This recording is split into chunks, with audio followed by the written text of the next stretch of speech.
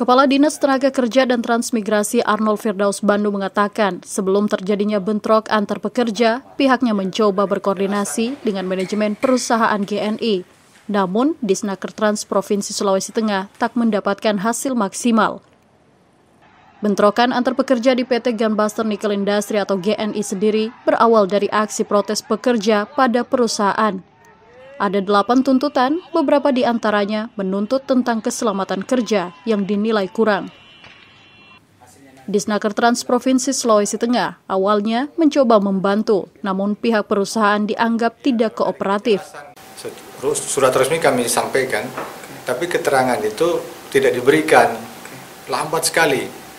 Uh, jadi saya menilai mereka tidak kurang kooperatif.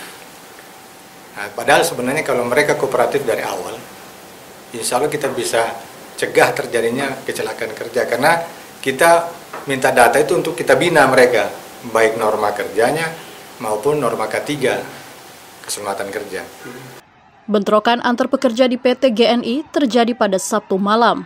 Dua korban tewas akibat bentrok itu dan sejumlah bangunan dan aset perusahaan rusak.